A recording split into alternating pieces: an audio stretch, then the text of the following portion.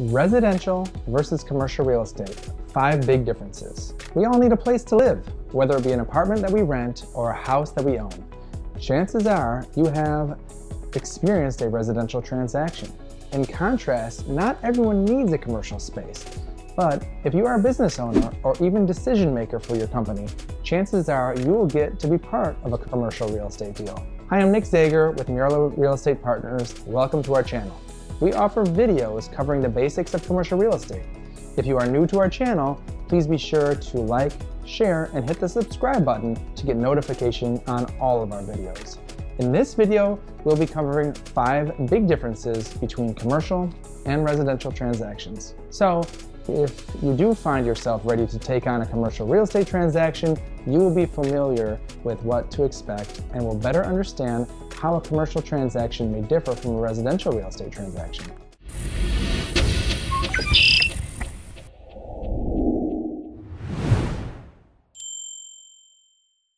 Property search. No matter if you are looking to lease or buy, you are going to start with an online search for residential real estate.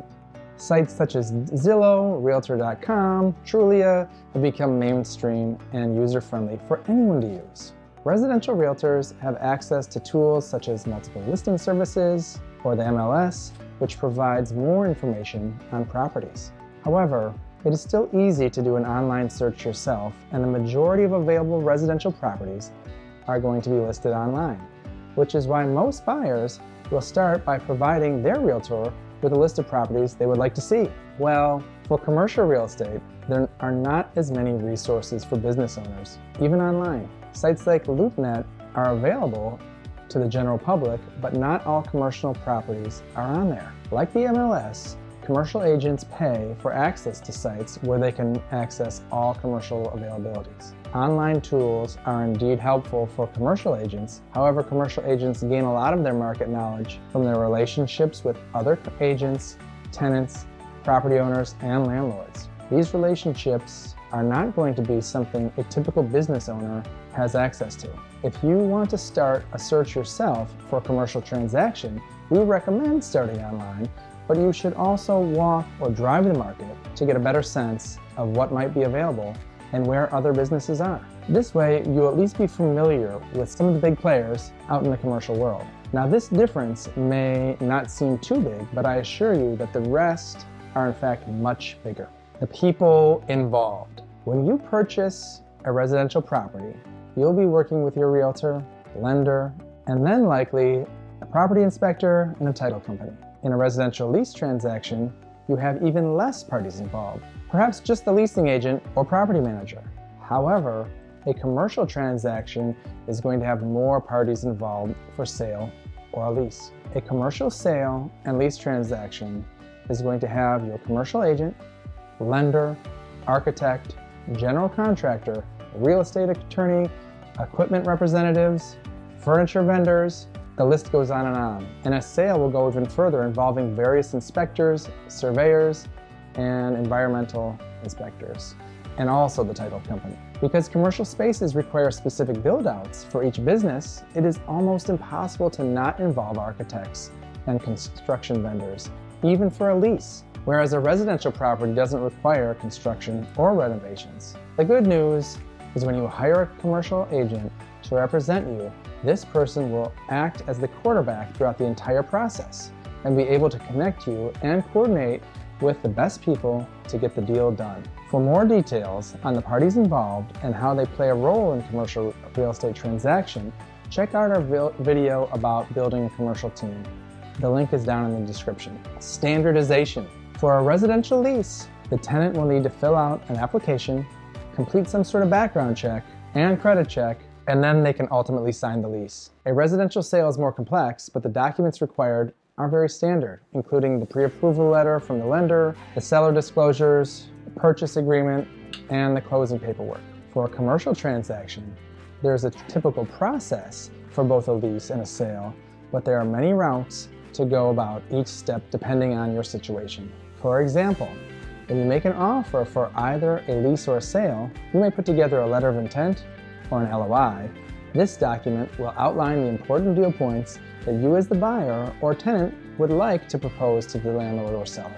An LOI can be very short and simple, with just the basics, such as the purchase price or base rent and length of term, or it can be incredibly detailed, including items like exclusivity right, right of first refusal, renewal options, signage, parking, and so on. Furthermore, you may not submit an LOI right off the bat either. Perhaps submitting a request for a proposal makes more sense for your situation. An RFP is similar to an LOI. Instead of filling in the deal point blanks, you are asking the seller or landlord to fill the blanks for you first. It's not just the offer stage of the commercial real estate process that can vary either. Depending on the property and if it is a sale or a lease, different phases and documentation may be required, such as zoning, environmental, and surveys. Even among landlords, there is a spectrum of requirements for the construction process, including building standard materials and preferred vendors. When you hire a commercial agent to represent you for either a sale or a lease, they will be able to guide you through the process and make recommendations along the way, which makes things a whole lot easier for you as the business owner or company decision maker. A commercial agent has the expertise to advise you on how to approach each step of the deal and connect you with the best people to help in each situation. Cost. Depending on where you live and the market, a residential transaction can be costly. However, commercial real estate is almost always going to be more costly. In other words, if the cost of living is high in your area, the cost of commercial property is going to be high too. Commercial properties are considered a greater asset than a residential home because whereas a residential property can be used as someone's primary residence, a commercial building is always used as a way to generate income, even if you're planning to use the property for your own business. In fact, if you are an owner-occupant of a property, sometimes a commercial building actually ends up being worth more than the business itself. And it's not just commercial sales that cost more. A commercial lease is almost always multiple years long so long that the higher rent a commercial business would pay compared to a person or family when rent is multiplied over numerous years, the value of each lease is much greater too. Number one, time. The amount of time each deal takes may be the biggest difference of all. A residential lease is usually the quickest transaction, often only taking days to complete from start to finish. A residential sale will typically take longer, with an average about a month, month and a half, maybe two months on the long side. However, a commercial real estate transaction will certainly require months to complete, sometimes even over a year.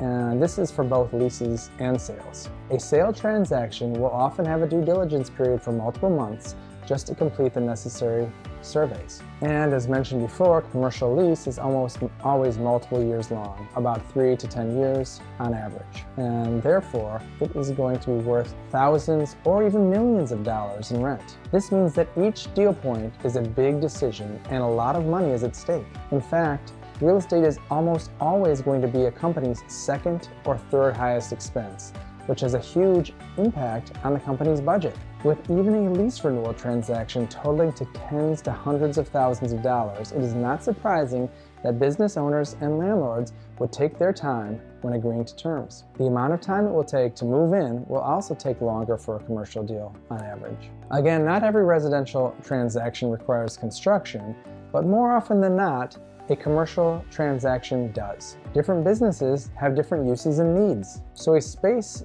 will need to be designed accordingly. Even if the layout of a space is perfect, a company is likely going to require new paint and flooring before moving in. It is not uncommon for a tenant to move in many months after a lease is signed. This is also why it is important to plan real estate decisions far in advance.